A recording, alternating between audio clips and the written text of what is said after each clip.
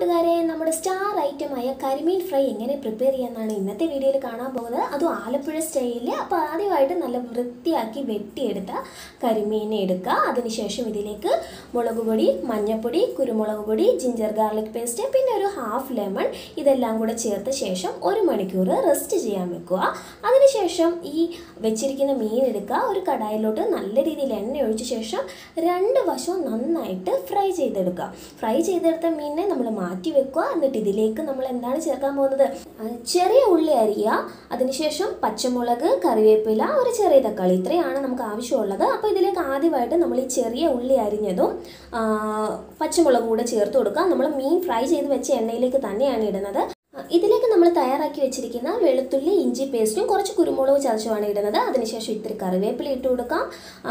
അതിനുശേഷം ഇത് നന്നായിട്ട് വാടിയ ശേഷം ഇതിലേക്ക് നമ്മൾ ഓൾറെഡി അരിഞ്ഞു വെച്ചിരിക്കുന്ന തക്കാളി ചേർത്ത് കൊടുക്കാം. തക്കാളിയും കൂടെ ചേർന്ന ശേഷം നല്ല രീതിയിലൊന്ന് ഒന്ന് വാട്ടിയതിന് ശേഷം മാത്രമേ കുറച്ച് മുളക് ഉപ്പ് പിന്നെന്താണ് മഞ്ഞപ്പൊടി ഇവ ചേർക്കാവൂ. ഇവ ചേർത്ത ശേഷം നല്ല രീതിയിലൊന്ന് വഴറ്റിയെടുക്കാം. ഇതിലേക്ക് നമ്മൾ തേങ്ങയുടെ ഒന്നാം പാലാണ് ചേർക്കാൻ പോകുന്നത്. അപ്പോൾ തേങ്ങയുടെ ഒന്നാം പാൽ ചേർത്ത ശേഷം കുറച്ച് നേരം ഒരു സെമി ഗ്രേവി ആകുന്ന രീതിയിൽ സെമി ഗ്രേവി ആക്കിയെടുക്കുക. ഇതിലേക്ക് കുറച്ച് എരിവ് കൂടുതൽ വേണ്ട ഒരു കുരുമുളക് പൊടി വീണ്ടും ആഡ് ചെയ്യാവുന്നതാണ്. അതിനുശേഷം നല്ല രീതിയിൽ ഒരു gravy type ആക്കിയെടുക്കുക.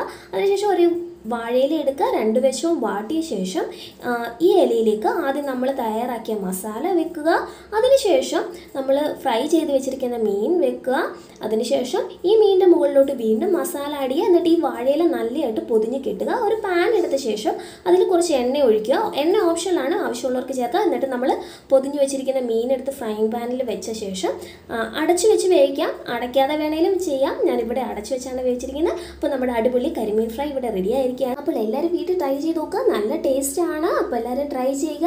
Thank for watching my video